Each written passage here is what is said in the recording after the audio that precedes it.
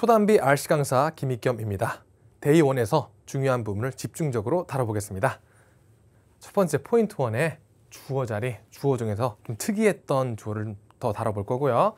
다음 포인트 세 번째, 여기서 보어, 보어 위주로 다뤄보겠습니다. 보어가 좀 헷갈리거든요.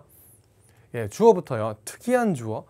한국 학생들은 문장 맨 앞에 주어가 나온다고 생각하는데, 예, 그게 대다수지만, 예, 예외도 있습니다. 문장 맨 앞에 어 주어 there 거기에 있다 이러면 안 됩니다. 왜냐하면 there 얘는 부사기 때문에 절대 주어가 될 수 없습니다. 아니 그럼 도대체 주어가 어디 있는 거예요? 정리 좀 해볼까요? 문장 맨 앞에 유도 부사인 there이 있다면 여기에 비동사가 나오고요. 특이하게 주어가 어디 있다? 주어가 뒤에 있다라는 사실. 어, 매우 특이하죠? 이거를 도치구문이라고 합니다. 언제 언제 문장 맨 앞에 유도 부사인 there 이게 뜬다면 뒤에 동사가 있고 또 그 뒤에 주어가 있다는 사실 주어 동사 순서가 역순이네요. 그러니까 특이한 주어 자리가 되는 거겠죠. 또 이런 구문을 형성하는 동사가 좀 제한적인데 좀 정리해 보겠습니다. 이렇게 일형식인 비동사 말고도 일형식인 remain 또 일형식인 exist 이 세 개의 동사 뒤에 주어가 나올 수 있다는 사실 유도부사 구문 한번 해석해 볼까요? 예문을 몇몇 지원자들이 있다. 주어는 there가 아니고 뒤에 있는 복수명사. 그러니까 수일치도 아주 이쁘게 되어 있죠. 첫 번째 특이한 주어 자리였습니다. 두 번째 특이한 주어 자리. 여러분 원래 투부정사가 주어가 될 수 있는 거 아시죠? 겉이란 뜻입니다. 고객 기반을 세우는 것은 중요하다. 근데 주어가 너무 길죠. 봐봐 이런 법칙이 있어요. 영어에서는 가벼운 정부는 앞으로 가고 H죠. light 가벼운 정보는 앞으로 가고 무거운 정보는 뒤로 가는 light and heavy 법칙이 있어요. 그래서 이러한 무거운 주어는 보통 어디로 갑니까? 보통 이렇게 뒤로 가는 경향이 있습니다. 지금 뒤로 보냈죠. 뒤로 보냈죠. 뒤로 보내면 아, is, is 이제 의문문 같잖아요. 그래서 가짜 주어인 it을 넣어줍니다. 그럼 이제부터 문장 맨 앞에 it, is가 나온다. 그러면 진짜 주어는 어디 있다? 뒤에 있다. 이것도 특이하게 주어 동사가 도치된 구문이라고 할 수 있겠죠. 오늘 도치 구문 두 개 배웠네요. 특이한 주어 자리였습니다. 관련 문제 풀어보겠습니다. 선택지를 보니까 품사 문제죠. 여러분 오늘 배웠어요. There is 아 유도부사 구문입니다. 그러면 주어가 어디 있다? 주어가 뒤에 있다. 주어가 될 수 있는 speculation이 정답이었습니다. 근데 학생들은 이렇게 생각하는 분명히 있어, 분명히 있어. 이게 안 나오면 더 이게 또 속기 쉬워요. 이렇게 안 나오면 학생들은 어 비동사 뒤에 pp, bpp 어디 목적어도 없네. bpp 수동태. 그래서 is speculated. 수동태를 넣는 학생 굉장히 많은데 그러면 앞에 주어가 있어야 돼요. 여기는 부사밖에 없잖아요. 수동태가 들어갈 수 없고요. 뭐가 들어가야 된다? 예, 주어가 들어가야겠죠. 그래서 앞에 이 increasing이 없어도 there is speculation으로 나와야 합니다. 알겠죠? 예, 주어 정리를 해봤습니다. 다음 보어 자리 목적은 하지 않고 오늘 보어 중점적으로 다 알아볼게요. 보람은 첫 번째 주격보, 목적격보 두 가지가 있는데 오늘은 주격보 먼저 해보겠습니다. 주격보는 그냥 어려운 거 없고요. 항상 이형식 동사 이형식 동사 뒤에 나오는 놈이고요. 뭘 보충합니까? 예, 주어를 보충해 줍니다. 이게 주어 보이죠? 주어 보이죠? 주어를 보충해 주는 거야. 근데 보호가 될 수 있는 게 총 두 가지입니다. 여기처럼 accountant 명사 같은 거, 또 여기 optimistic 형용사 같은 거. 뭐 사실 둘 중에 형용사가 훨씬 잘 나오긴 하지만 명사도 가능은 합니다. 그럼 어떤 차이가 있는데요? 만약에 보호가 형용사다.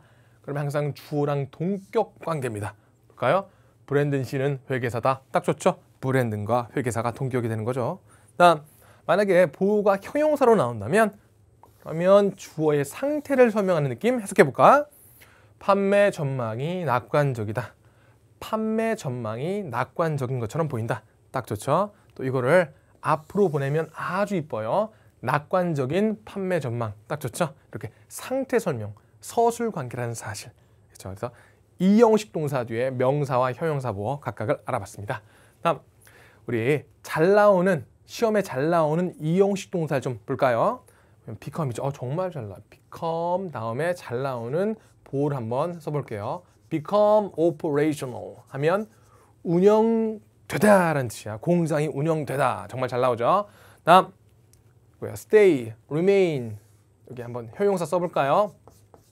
competitive 하면 경쟁력을 유지하다라는 뜻입니다. 알겠죠? 하나만 더 볼게요. 여기 보면 go bankrupt 하면 뭐 파산되다라는 뜻이고요.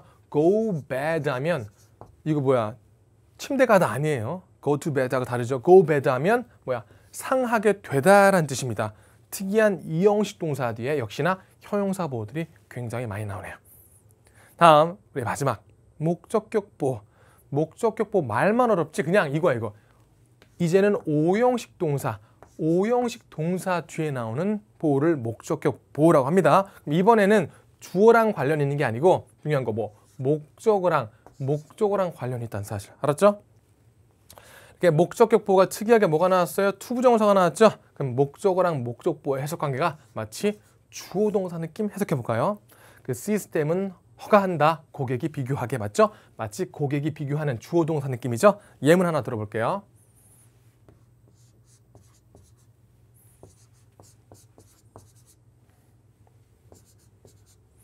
한번 볼까요? 과거.